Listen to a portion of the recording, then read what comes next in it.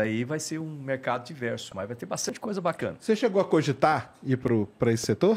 Em algum eu fui momento? Em 2004, olha a situação, né?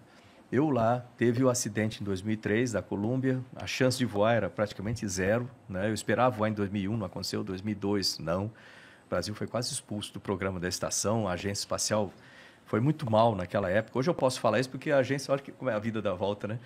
Hoje a agência está subordinada a mim.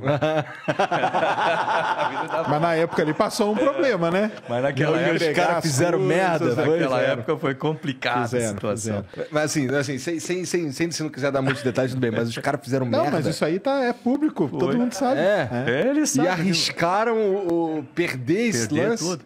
A gente Que tinha doideira. que fazer um A investi- nossa bandeirinha não tá mais, né? É. Foi tirada. Foi tirada lá, porque a gente precisava fazer um investimento, eram 120 milhões é, que ia ser pago uma, às empresas brasileiras para produzirem é, seis partes, entre elas o Express Pallet, que seria o primeiro a ser entregue para ser instalado na estação. Express Pallet é uma prateleira. É uma prateleira de Prateleira onde vão colocar os experimentos, é Ah, isso. Do lado externo da estação.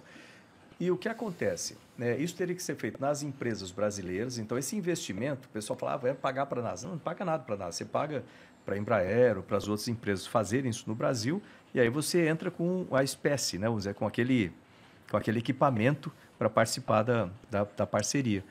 Mas aí foi um rolo da agência espacial com a Embraer, com outras coisas. Nada- Resultado, nós não entregamos a prateleira. Nunca. Nunca entregamos É. essa prateleira. E eu lá desesperado tentando ajustar. Enquanto o isso, ele tem. merda. Não, e tem até uma, uma injustiça. tipo, que- É, não, tem Porra, até uma é a injustiça própria que faz- razão pra É. que exista esse- essa porra desse, desse projeto. É os foda, caras não cara. entregaram. Não entregaram. Uma- E era uma prateleira, cara. cara. Era uma prateleira, tá? Era Você tá aqui, zoando, você tá Uma zoando. prateleirinha. Ou Entendeu? seja, Que doideira. Você imagina a minha situação lá esperando, pô, não vai dar certo, aí tem que mudar, aí tem que mudar o projeto. Aí eu consegui ajustar lá para a gente produzir, eram uns adaptadores, né? Que um, é um tipo de um, é um adaptador externo, né? Para colocar equipamento em cima, etc. Aí trocar aquelas seis peças por 34 adaptadores menores que daria para fazer, consegui para fazer de graça no Senai.